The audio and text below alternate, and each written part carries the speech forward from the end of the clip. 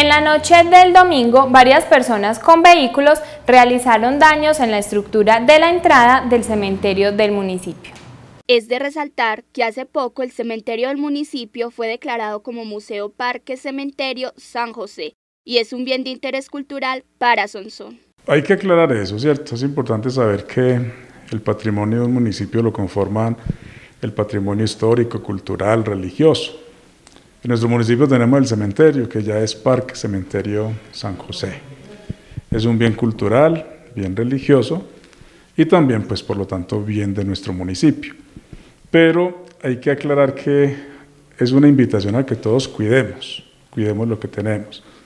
Entonces el domingo pasado en horas de la noche, un grupo de personas trataron como de tumbar o de, de atropellar esa portada de entrada que tiene precisamente unas cadenas, unas rejas, y eso genera, primero que todo, un riesgo, porque las personas que pueden salir allí lesionadas.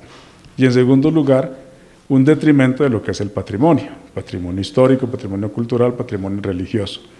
Choca porque de todas maneras se hacen esfuerzos por mantener bonito este lugar, se ha ido creando sentido de pertenencia, de hecho fueron mismos personas del sector quienes hacen esta respectiva denuncia.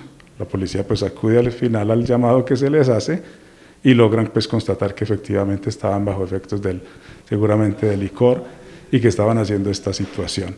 Para la parroquia de la catedral, quienes son los administradores del cementerio local, es incomprensible cómo personas dañan un bien de interés público chocando sus vehículos con las instalaciones de este espacio. La invitación sobre todo es eso, que cuidemos, que cuidemos nuestra cultura, que cuidemos lo que se tiene, nuestro patrimonio, y con mayor razón pues nuestro cementerio, que además de ser una cuestión de patrimonio, es sobre todo un lugar sagrado, donde están pues nuestros antepasados, eh, nuestro, nuestra misma historia, y esa es la gran invitación que tenemos que hacer.